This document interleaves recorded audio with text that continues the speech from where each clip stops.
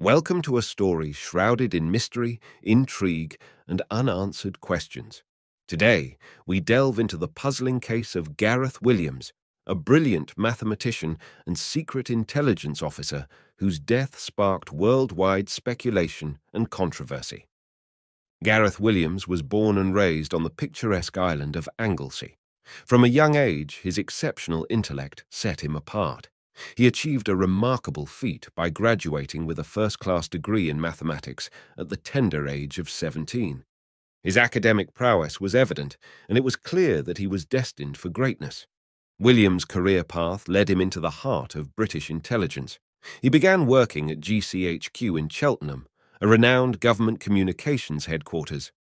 Later, he was seconded to MI6, the United Kingdom's secret intelligence service, where his brilliance found a new platform. Within the intelligence community, Gareth Williams gained a reputation as a world-class intelligence officer.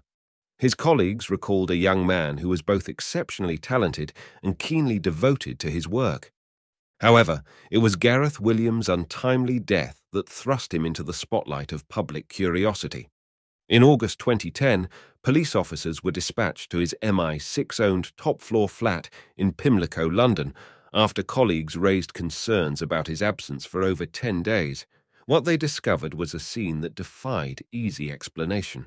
Williams' lifeless body lay naked inside a zipped-up, large red North Face sports holdall, padlocked inside an empty bath in the ensuite bathroom of his master bedroom.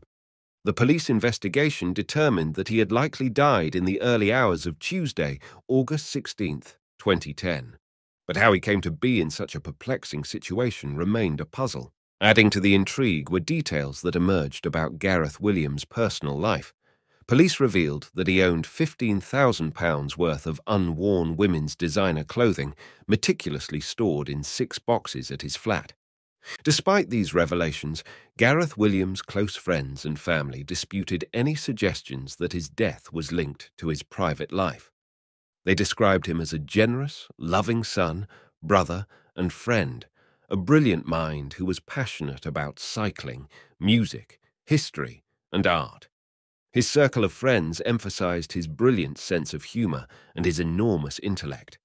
They painted a picture of a private and introverted man who was passionate about his work and rarely shared details about it.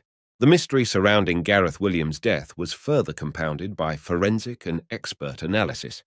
Expert witnesses attempted to determine whether it was physically possible for him to lock himself inside the holdall in the bathtub. Their attempts left room for doubt, and it was suggested that another party must have been involved in placing him inside the bag. Pathologists who conducted post-mortem examinations couldn't establish a definitive cause of death. Possibilities of poisoning or asphyxiation were raised, but could not be confirmed. Dr. Benjamin Swift, a Home Office pathologist, considered poisoning and asphyxiation as the foremost contenders, but labelled them possibilities, not probabilities. Dr. Richard Shepherd, another pathologist, believed that Williams was likely alive when placed inside the bag, and that he might have been aware of his predicament for a short period before his demise. The enigmatic circumstances of Gareth Williams' life and death have fueled speculation and intrigue.